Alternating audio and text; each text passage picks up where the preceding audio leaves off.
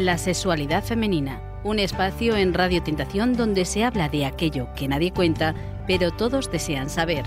Te esperamos de martes a sábado a la 1 y 40 de la madrugada en la sintonía de Radio Tentación. Bienvenidos y bienvenidas. Elena, ¿por qué siempre empiezas con bienvenidos? Pues cuando tú llegas a una casa hay un welcome. Pero ¿por qué no empiezas con bienvenidas, bienvenidos? Se dice primero señoras, señores. Pero tú empiezas por lo masculino, no sé por qué. Hombre, porque es lo que a mí me va. ¿Qué te va? Muy buenas a todos. Estamos de nuevo aquí hoy y para ¿Quiénes? ¿Quiénes estamos aquí? Porque Elena Trujillo y Clemence Leonis, psicoanalistas de la Escuela Grupo Cero. Aunque, aunque no lo parezcamos en este momento aquí charlando con ustedes, pero somos psicoanalistas.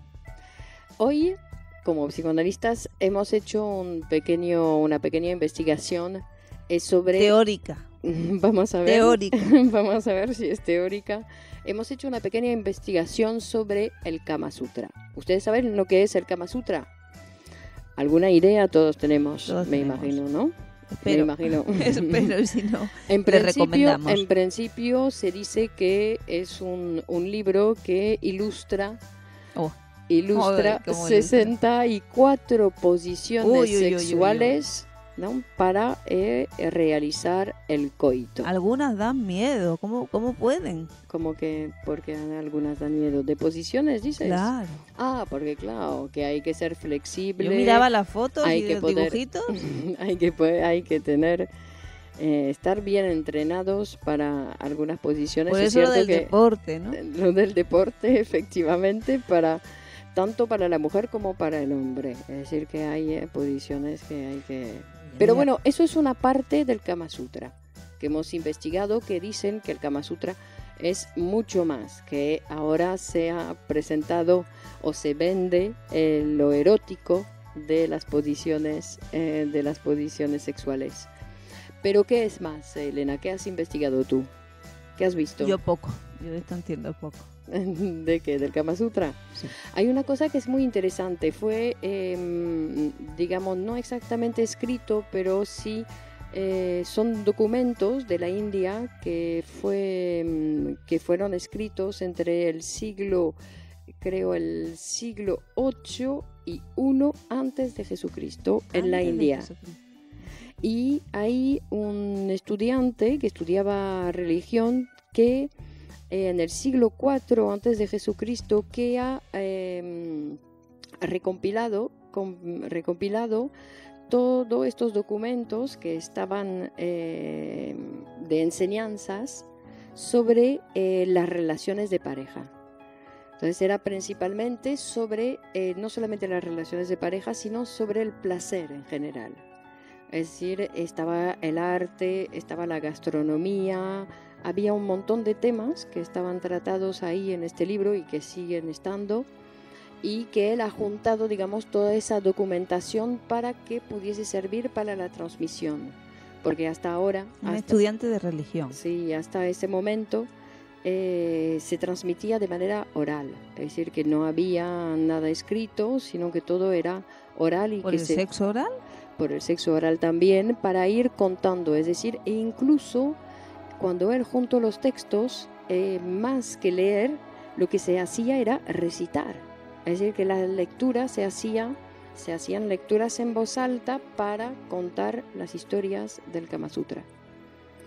Y ahí empezó la, la, ahí empezó la historia del libro. E incluso no había ilustraciones, no existía dibujos, eran textos que estaban escritos en el papyrus, ahí, que en hojas secas, se escribían ahí los textos, es decir, que no había reproducción y se transmitían, se seguían transmitiendo de manera en lectura. ¿Y el objetivo mm, de esa escritura cuál era? E, enseñanza para los seres humanos para que el ser humano pudiese llegar a un nivel de cultura y de convivencia para poder convivir con los demás. Porque el objetivo se banaliza con, con esa preeminencia, incluso si buscando en internet es casi imposible hallar un manuscrito semejante al original donde lo prioritario es ese texto educativo, esas distintas facetas de la convivencia, de consejos o indicaciones para una mejor convivencia de, los cónyuges, para un fomento o una producción de goce que claro porque dan consejos justamente dan consejos para seducir cómo seducir a una mujer cómo seducir a un hombre cómo entrar en contacto. Entonces claro está todo el contacto digamos de los cuerpos la relación de los de los cuerpos y todo lo que concierne esa, esa relación y efectivamente son textos que están medio prohibidos todavía, porque dicen, no, en el siglo XX, siglo XXI, ahora no nos escondemos nada, todo está... Y pero mentira, es mentira total. La, Han pasado, fíjate, las fotos o los dibujos que pero no ha pasado el texto, que es donde verdaderamente está la enseñanza. Bueno, digamos que pasa menos, porque los textos seguro que se pueden encontrar y que han sido traducidos en varios idiomas y que circulan, es uno de los libros más famosos, eh, más conocidos y que además ha pasado todos estos años y sigue siendo el libro de referencia a nivel erótico no han conseguido hacer una cosa más, más completa Pero es interesante porque las traducciones son bastante recientes, es decir, que ha sido un libro que ha permanecido durante mucho tiempo circunscrito, en la India. claro, a un área geográfica. También eh, vimos en un reportaje a, a dos dinastías que profesaban una religión en la cual se tomaban esas enseñanzas respecto al arte o a la relación erótica eran religiones. Y eran religiones que, ¿no? que incluían en esas dinastías, pues se defendían de, la, de la, a través de guerras de, el deseo de los mongoles o de civilizaciones musulmanas de limitar, porque venían a reprimir esa forma de manifestación pero no de tanto, del arte porque también se apropiaron los mongoles justamente participaron también en la construcción de este libro en el sentido que ellos eh, recuperaron este libro, lo tomaron también y son ellos que hicieron las primeras, eh, las primeras ilustraciones. Son los pintores mongoles que invadieron una parte de la India en algún momento que había eh, luchas y que recuperaron el texto y utilizaban esos textos en las escuelas artísticas de, en Mongolia y ilustraron el texto del Kama Sutra. Fueron los primeros pintores que ilustraron ahí el, Kama Sutra. Que después el Kama Sutra fue descubierto eh, por un inglés, porque cuando los ingleses echaron a los mongoles de la India y que se apoderaron ahí como colonia de la India, hay un, hay un inglés que se ocupó de hacer la traducción del Kama Sutra y a partir de ahí se empezó a hacer reproducciones. llegó a la vez la imprenta en la India y el primer ejemplar del Kama Sutra se hizo solamente 250 ejemplares. 250 con todos los hindúes que hay. Quiero decir, los ingleses, digamos que era un libro y en, en Francia también fue traducido, fue escondido durante bastante tiempo es decir, que sigue más o menos, yo creo que sigue prohibido el texto, sigue prohibido. ¿Y recuerdas o has, te has informado sobre alguna de las enseñanzas que se contenían en él? No, la verdad que no, porque no lo he leído. No he tenido acceso al libro todavía, voy a seguir investigando para ver justamente si podemos, porque yo creo que hacer tanto hincapié en las posiciones sexuales, pues no nos tapan lo otro, ¿no? Es un poco como la prensa cuando de repente hablan mucho de un tema para que después mm, pasar leyes donde Claro, pero por ejemplo, una de las cosas que sí algunos eh, de, los, eh, de los escritos publicados hablando del Kama Sutra destacan la importancia de la complicidad de la pareja en el sentido de en el estado psíquico no tanto en el deseo, mm. sino de un campo de un respeto, de un contacto con la piel, de una conexión entre esos deseos para que el goce pueda producirse. De alguna manera. Un montón de trucos para llegar al goce, al goce, al desplegar, digamos, el goce para que no sea solamente de una sola forma. imagínate, pero imagínate de las 64 posiciones, porque yo creo que más allá eh, es como representativo de las maneras de gozar pero también era una enseñanza al respecto del cuidado de la vida y de la salud física. En tanto te mostraba como un sumo, ¿Pero tú lo has leído? como si lo leyera, eh, mostraba a través de esas 64 posturas como todo el abanico de los goces posibles, ¿no? como ese ideal al alcanzar. Pero también indica que para desempeñar algunas de esas posiciones es preciso tener ciertas condiciones físicas. Entonces era como todo un pensamiento moral y religioso que te determinaba como a cuidar tu cuerpo para poder ser un buen amante, Claro, para poder adquirir, digamos, el máximo de logro de ese ideal en el amor, como si hubiera una valoración muy alta, una estima muy alta a- al goce, Claro, algo que hoy en día no que- existe. Claro que, Se- que se no- es más fácil gozar hoy, hoy en día del juego, de la droga, de mil otras cosas que no tienen nada que ver con el goce humano, que son desviaciones, pero es mucho más fácil que gozar de una buena relación sexual con otra persona, o con ¿Por qué? otras personas. porque está prohibido. Está prohibido. Hoy para gozar uno tiene que tener en la intimidad el amor y el deseo. Pero si lo haces público te envidian, te lo prohíben, te lo censuran. Entonces, claro, eh, son morales o religiones que, vemos que de civilizaciones anteriores, pero son muy avanzadas en el sentido que se entiende. Además, eh, veíamos cómo construyeron unos templos impresionantes.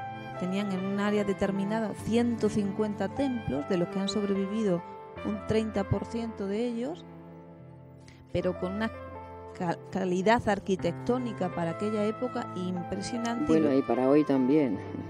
Claro, hoy no se hacen cosas así. Y, pero en el sentido que para una fortaleza espiritual de ese pueblo. Claro, Porque claro. construyeron grandes mu- murallas de 3 metros por 3 de diámetro que, que les permitieron durante 100 años defenderse de los ataques de los mongoles. Ujú. y de Tan los alto como la libertad, la estatua de la libertad. Ese No, sí, no, uno no, de los templos. Pero efectivamente, ¿no? Porque em, decían, ¿no? Explicaban cómo había el riego para eh, que los amantes tuviesen la temperatura ideal para poder hacer el amor. Es decir, que habían establecido una manera de regar, eh, ¿no? De la distribución del agua para que pudiese servir para la climatización, para un sistema de climatización. Digamos que eh, su mayor grado de civilización era poder gozar. Claro. Solo podían los. Es decir, so- solo podían tener esas cortesanas o esa corte de mujeres alrededor, o las esposas, y esas estancias destinadas específicamente a los placeres, aquellas personas más ricas. Pero digamos que era como el culmen de, de su sociedad. Estaba defendida de cualquier invasión extra- extranjera que no solo quisiera invadirles territorialmente, sino invadirles su forma de Es interesante, ¿no? Porque podemos pensar que ahí serían los gobernantes que sabían gozar. Que aquí ahora, en la época actual, yo creo que los gobernantes deben ser los que peor saben gozar, ¿no? Que no sabrán gozar para nada, como vemos. Mm, ¿Y por qué traemos esto del Kama Sutra? Eh, no es que tenga que ver con el psicoanálisis, pero tiene que ver con la cultura eh, en la que vivimos y también con la censura a ujú. otras formas de pensar las relaciones, el amor, el deseo y el goce, que muchas veces pasan por alto y nos creemos cualquier cosa que viene en televisión, que viene en la publicidad, que viene... Entonces, no, que hay que leer, hay que acercarse a... Bueno, a ver si ver leemos un otros poco, han ve- un poco. si ustedes tienen alguna información más sobre el Kama Sutra, nos pueden escribir a la sexualidad femenina radio arroba gmail.com, la sexualidad femenina radio arroba gmail.com para comentarnos un poco lo que han leído y lo que han encontrado. porque además seguro que hay un montón de personas Ujú, que se han interesado sobre este tema y que han Seguro. investigado, seguro que más que nosotras, sí. y como tú dices, se pueden aportar y sobre todo nosotros estamos en un espacio de sexualidad femenina que lo que queremos es conocer y ampliar el abanico, el espectro de desarrollo de la mujer y al fin y al cabo permitir con eso que hombres y mujeres puedan convivir en paz y disfrutar. En paz. En Elena, paz. no existe. La paz. La paz. Bueno, un poco de guerra, un poco de paz. Y no sé, Exacto. Hay que poder pelearse de Pero vez que en cuando. aprendamos a conversar tranquilamente. Sí, ya, tranquilamente, pero... Si no, vamos a tener que cantar la canción de amenaza de bomba, bomba, bomba, bomba, bomba. Tenemos una consulta de Lorena, que nos escribe de Lugo y... Que escucha desde allí nuestro programa y nos pregunta que ella siente mucha vergüenza porque tiene deseos de estar con su novio, pero ella siente que no sabe hacer el amor, que no se atreve a dar ese paso, que no sabe, que no sabe, que, que no sabe cómo puede aprender eso, cómo se le quita ese miedo. ¿Cómo se hace para aprender el a hacer el amor? Haciendo el amor. Haciendo que le da mucho miedo, que dice que no sabe. Claro, que nadie sabe. En principio nadie sabe. Y tú sí, que tú eres experta. Que incluso cambiando de persona hay que volver a aprender. Bueno, en general los amantes anteriores sí han servido un poquitín.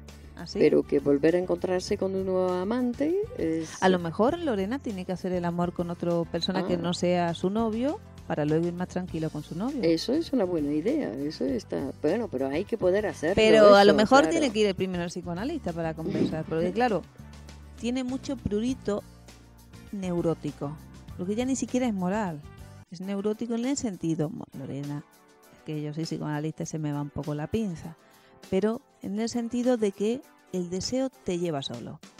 Y cuando uno se pone una barrera, no es tanto por eh, la meta que uno quiere alcanzar, sino porque uno tiene demasiado miedo a esa meta, a la satisfacción del deseo. Y aprendiendo a conversar con el psicoanalista, uno va a ir perdiendo esos miedos que tiene y va pudiendo aprender a gozar. También tiene que ver con el aprender. Es decir, que claro, que uno se tiene que tirar al agua para ir aprendiendo, que los primeros pasos y también para no querer hacerlo bien. Dímelo a mí, que estoy aprendiendo francés. Muy bien, Elena. Hasta la próxima, seguimos el próximo día. Buenas noches a todos.